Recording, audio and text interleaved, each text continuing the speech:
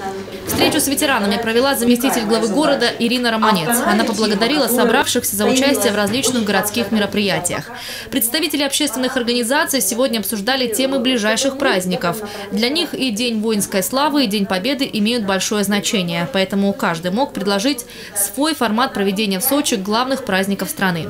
Кроме торжеств, обсудили и будни, а именно социальные вопросы. У нас э, каждый месяц в Центральном районе рабочие встречи с председателями и активом общественных организаций всегда проводятся. И они с большим удовольствием приходят, потому что мы на эти встречи приглашаем представителей соцзащиты, пенсионного фонда, центра занятости, фонда социального страхования.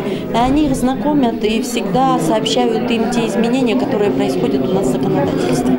Только в центральном районе Сочи действуют 9 ветеранских и инвалидных организаций, а это порядка 15 тысяч человек.